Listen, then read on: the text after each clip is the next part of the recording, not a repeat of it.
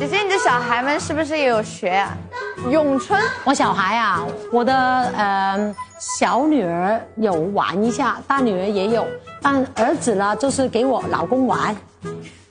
当那个当那个电当那个当靶子当靶子，你知道他是怎么样？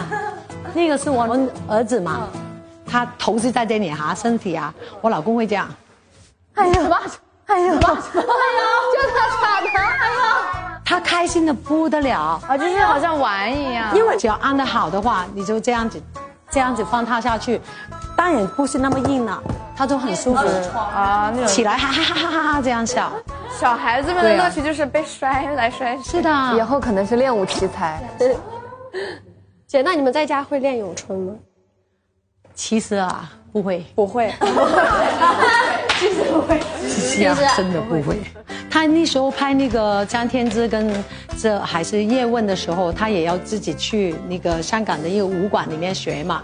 他跟的那个老师就是呃叶问的弟弟还是哥哥，就叶正，叶叶正师傅的徒弟。哦叶正很老了，大姐啊。然后作为一代宗师的老婆，其实不需要厉害的。嗯，对呀、管好他的钱，管好他的人，钱就管好他的那就可以了。我才站回来先。